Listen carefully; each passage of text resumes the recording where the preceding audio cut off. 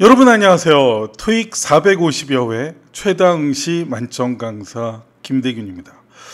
아, 올해도 시험을 빠짐없이 계속 보고 있네요. 아, 지금 아, 기네스북에 좀 올라가야죠, 그죠? 아, 기네스북 등재 기록 기본은 되는 김대균이 신토익 분석을 또 새롭게 내놓겠습니다.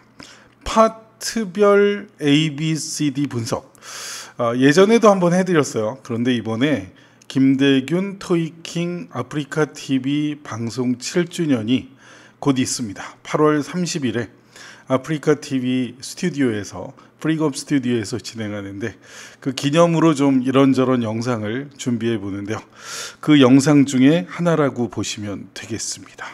준비 운동이에요. 김대균 토이킹의 토익 정답 ABCD 통계 분석 시작합니다.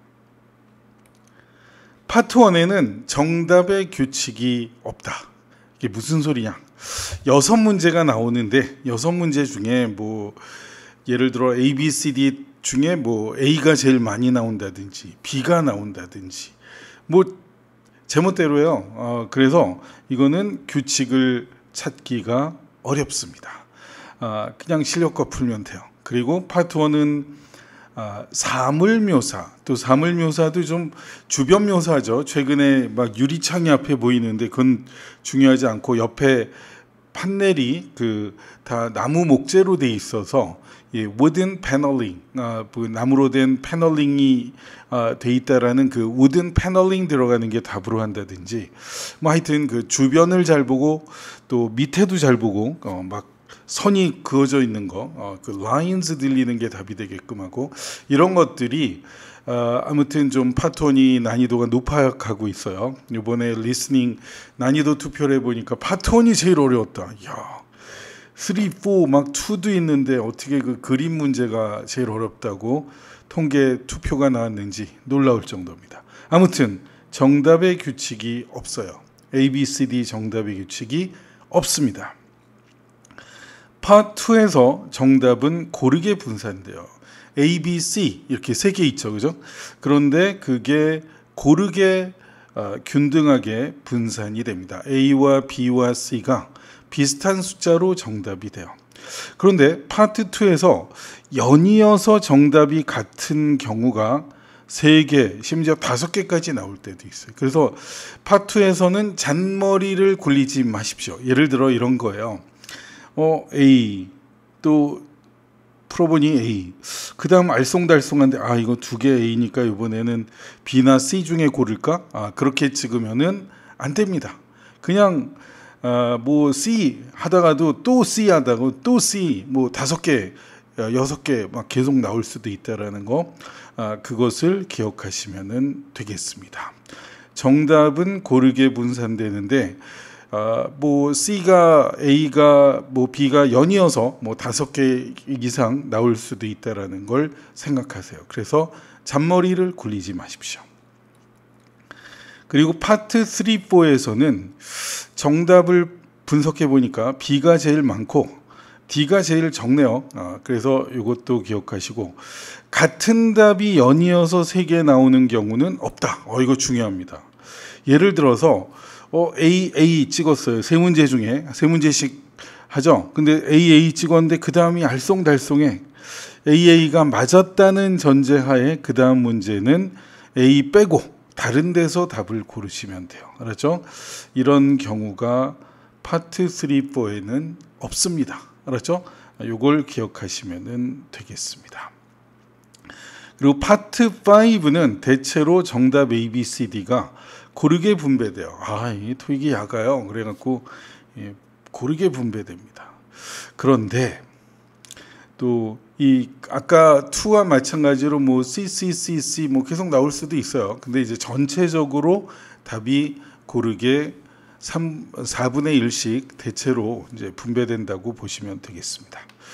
그다음 파트 6는 A, B, C, D 정답이 고르게 분배돼서 또 중요한 말이 나오는데요. 한 개의 본문, 즉 네 문제짜리죠. 네 문제짜리에서 답이 같은 답이 세 개 나오는 경우는 없어요. 예를 들어 CCCA 이런 거 없어요. 예를 들어 뭐, 뭐 AA, B, C는 가능해요. A가 두 개 정도. 근데 AA, AB 뭐 이런 식으로 해서 같은 답이 B, C, C, C 이렇게 해갖고 이제 같은 답이 세 개 나오는 경우는 없다. 아, 지금까지 이런 거는 안 나왔습니다. 그래서 이제 여러분 중에 이제 고민을 어, B, C, C 했단 말이야. 그러면 그 다음엔 C는 제끼고 다른 것을 이제 풀어나가면 되겠습니다. 요즘 뭐 비가 많이 온다 그러는데 와야 오는 거예요. 여러분 제가 인생을 살면서 어, 배운 거는 이제 어, 제 친구들 이렇게 보면 이제 결혼한 데 놓고 어, 가보면 이제 다른 여자랑 결혼하는 경우도 많고 뭐 비도 와야 오는 거고 수강하겠습니다 뭐 이런 사람들 어, 와야 오는 것이고 어, 아무튼 에, 전 별로 호우가 물론 있겠죠. 아, 근데 뭐 와야 오는 거지 뭐. 그 다음에 파트 7은 전체적으로 어, CBDA 순서로 정답이 많이 나온다. 이걸 기억하세요. CBDA 순으로 정답이 많이 나와요. 근데 대체로 균등한데 그래도 C가 제일 많아요. 네, CBDA. 그리고 196에서 200.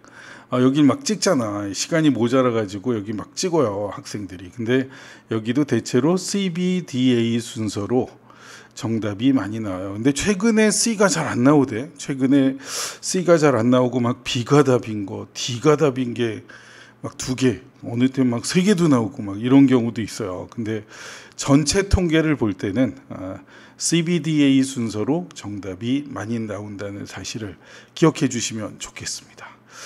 어, 요즘에 김대균하고는 좀 키워나가고 있는데 월수금반 실전반 아, 그 수강하고 수금 준반 또 같이 들어도 좋으니까요. 어, 요두 반을 키워나가니까 여러분이 많이 응원해 주세요. 그리고 토익 만점과에 지금 어, 꾸준히 문의도 하고 지금 과외를 하고 있습니다. 근데 또 요것은 이제 900점 이상 아, 자격이 되면 여러분이 아, 또 받으시면 아주 좋은 결과가 나오게 됩니다. 토익 만점과의 수강 문의도 여기로 해주시면 돼요. 영업 빨리입니다. 556의 영업 발휘. 자, 오늘 했던 내용을 잘 기억하십시오. 그래서 김대균 토익킹의 토익 정답 ABCD 통계 분석. 이번 2022년 8월 30일 아프리카 TV 프릭업 스튜디오에서 어, 함께하는 그 최군 사회로 진행하는 방송에 어, 어떤 게스트가 함께 나오면 좋겠다. 또 어떻게 어, 진행하면 좋겠다. 이런 의견을 주시면은 적극 반영해서 행복한 파티를 만들어 보도록 하겠습니다. 인생은 즐겁게 토익은 김대균과 함께 thank you 감사합니다. 안녕 반갑습니다. 오, 야, 그 뭐 수강생도 오고 그러는데 어, 수강생이 오네. 음. 어, 저 친구는 뭐 수영을 그렇게 잘한대. 아, thank you. 아, 반가웠어. 어이, 우리 존잘남 NIW송 thank you. 재밌었습니다. 다시 보기 하세요. 일찍 와야지. 지금 방송 다 끝났는데. 감사합니다. 안녕. 또 봐요.